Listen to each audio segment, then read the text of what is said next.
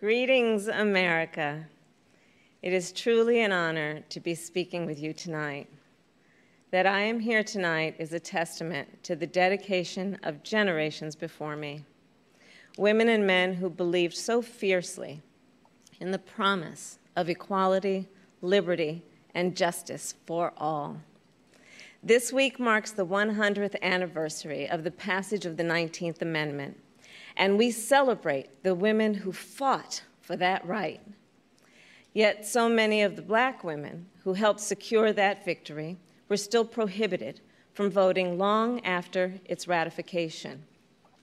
But they were undeterred. Without fanfare or recognition, they organized and testified and rallied and marched and fought, not just for their vote, but for a seat at the table. These women and the generations that followed worked to make democracy and opportunity real in the lives of all of us who followed. They paved the way for the trailblazing leadership of Barack Obama and Hillary Clinton. And these women inspired us to pick up the torch and fight on. Women like Mary Church Terrell, Mary McLeod Bethune, Fannie Lou Hamer, and Diane Nash, Constance Baker Motley, and the great Shirley Chisholm. We're not often taught their stories. But as Americans, we all stand on their shoulders. And there's another woman whose name isn't known, whose story isn't shared, another woman whose shoulders I stand on. And that's my mother, Shyamala Gopalan Harris. She came here from India at age 19 to pursue her dream of curing cancer. At the University of California, Berkeley, she met my father, Donald Harris, who had come from Jamaica to study economics. They fell in love in that most American way while marching together for justice in the civil rights movement of the 1960s. In the streets of Oakland and Berkeley, I got a stroller's eye view of people getting into what the great John Lewis called good trouble. When I was five, my parents split, and my mother raised us mostly on her own. Like so many mothers, she worked around the clock to make it work, packing lunches before we woke up and paying bills after we went to bed, helping us with homework at the kitchen table and shuttling us to church for choir practice. She made it look easy though it never was. My mother instilled in my sister Maya and me the values that would chart the course of our lives. She raised us to be proud, strong black women, and she raised us to know and be proud of our Indian heritage. She taught us to put family first, the family you're born into, and the family you choose. Family is my husband, Doug, who I met on a blind date set up by my best friend. Family is our beautiful children, Cole and Ella, who call me Momala. Family is my sister. Family is my best friend, my nieces, and my godchildren. Family is my uncles, my aunts, and my chithis. Family is Mrs. Shelton, my second mother, who lived two doors down and helped raise me. Family is my beloved Alpha Kappa Alpha, our Divine Nine, and my HBCU brothers and sisters. Family is the friends I turned to when my mother, the most important person in my life, passed away from cancer. And even as she taught us to keep our family at the center of our world, she also pushed us to see a world beyond ourselves. She taught us to be conscious and compassionate about the struggles of all people, to believe public service is a noble cause and the fight for justice is a shared responsibility. That led me to become a lawyer. a district attorney, attorney general, and a United States senator. And at every step of the way, I've been guided by the words I spoke from the first time I stood in a courtroom Kamala Harris for the people. I have fought for children and survivors of sexual assault. I fought against transnational criminal organizations. I took on the biggest banks and helped take down one of the biggest for profit colleges. I know a predator when I see one. My mother taught me that service to others gives life purpose and meaning. And oh, how I wish she were here tonight, but I know she's looking down on me from above.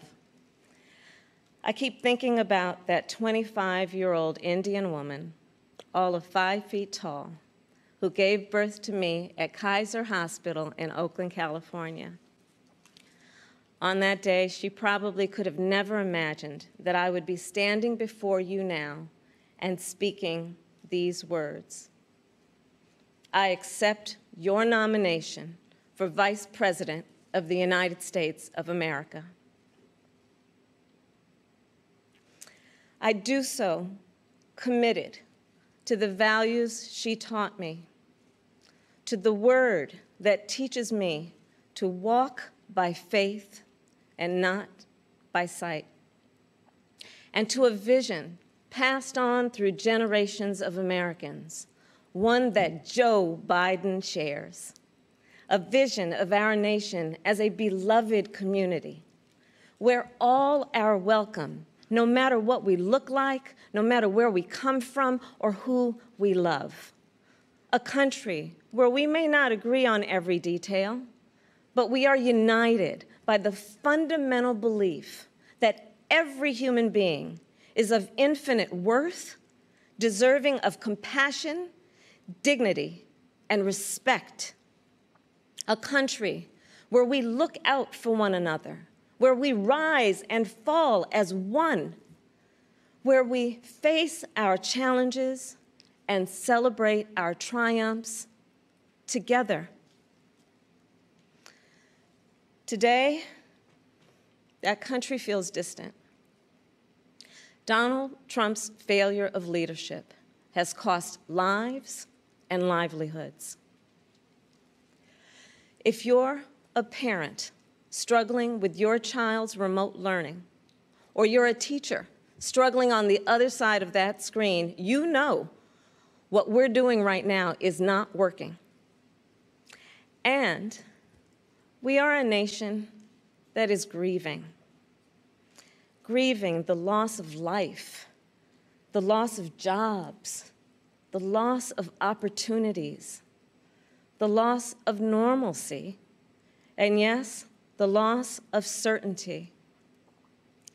And while this virus touches us all, we got to be honest. It is not an equal opportunity offender. Black, Latino, and indigenous people are suffering and dying disproportionately. And this is not a coincidence.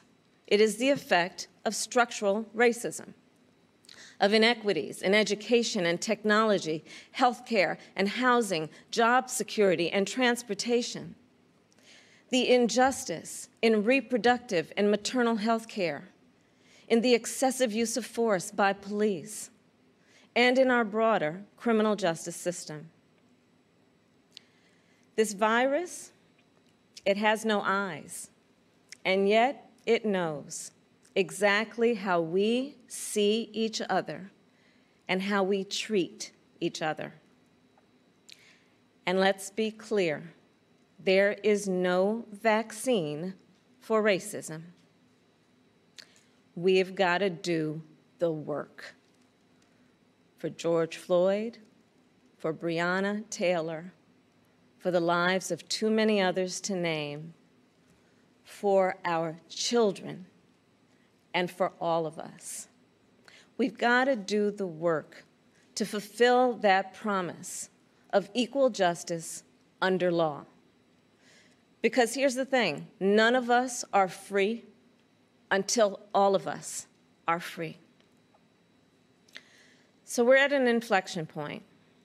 The constant chaos leaves us adrift. The incompetence makes us feel afraid. The callousness makes us feel alone. It's a lot. And here's the thing we can do better and deserve so much more. We must elect a president who will bring something different, something better, and do the important work.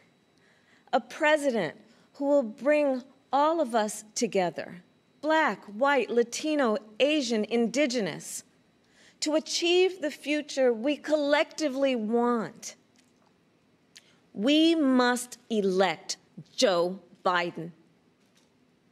And I will tell you, I knew Joe as vice president. I knew Joe on the campaign trail. And I first got to know Joe as the father of my friend. So Joe's son, Bo, and I served as attorneys general of our states, Delaware and California. During the Great Recession, he and I spoke on the phone nearly every day, working together to win back billions of dollars for homeowners from the big banks that foreclosed on people's homes.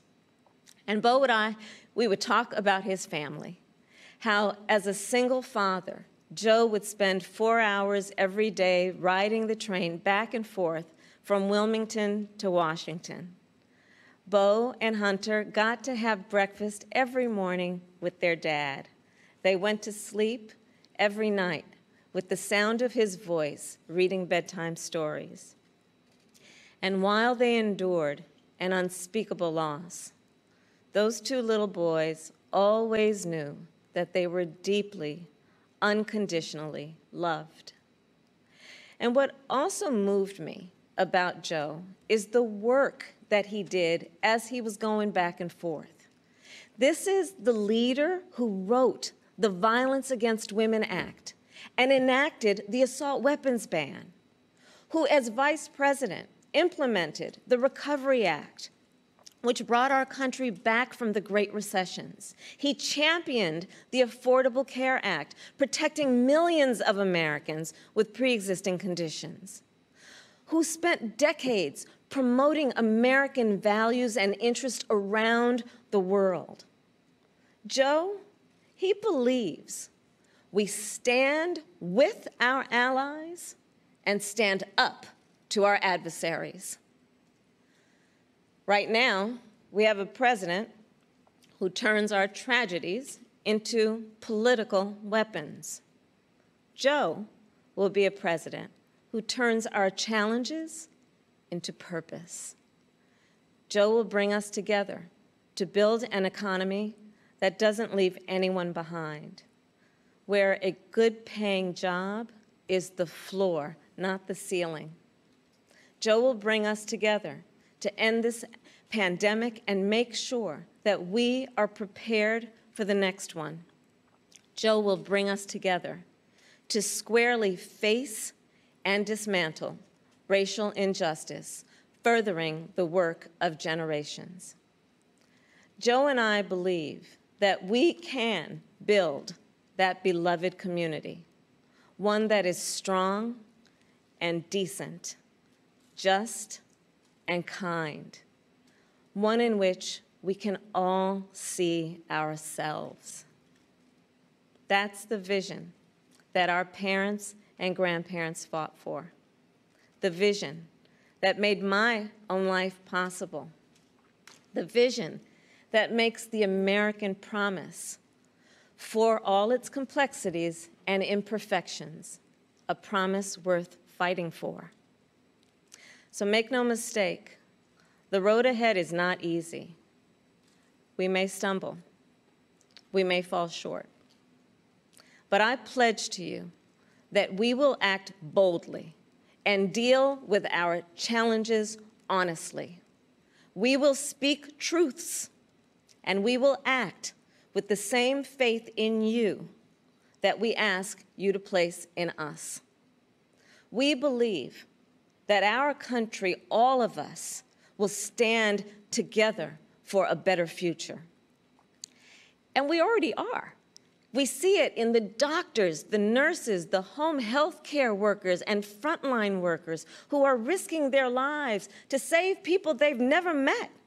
We see it in the teachers and truck drivers, the factory workers and farmers, the postal workers and poll workers, all putting their own safety on the line to help us get through this pandemic. And we see it in so many of you who are working, not just to get us through our current crisis, but to somewhere better. There's something happening all across our country. It's not about Joe or me, it's about you. And it's about us. People of all ages and colors and creeds who are, yes, taken to the streets, and also persuading our family members, rallying our friends, organizing our neighbors, and getting out the vote. And we have shown that when we vote, we expand access to health care and expand access to the ballot box and ensure that more working families can make a decent living. And I'm so inspired by a new generation. You, you are pushing us to realize the ideals of our nation, pushing us to live the values we share decency and fairness, justice and love. You are patriots who remind us that to love our country is to fight for the ideals of our country. In this election, we have a chance to change the course of history. We're all in this fight. You, me, and Joe, together. What an awesome responsibility. What an awesome privilege. So let's fight with conviction. Let's fight with hope. Let's fight with confidence in ourselves and a commitment to each other, to the America we know is possible, the America we love. And years from now, this moment will have passed, and our children and our grandchildren will look in our eyes and they're going to ask us, Where were you when the stakes were so high? They will ask us, What was it like? And we will tell them. We will tell them not just how we felt, we will tell them what we did. Thank you. God bless you, and God bless the United States of America.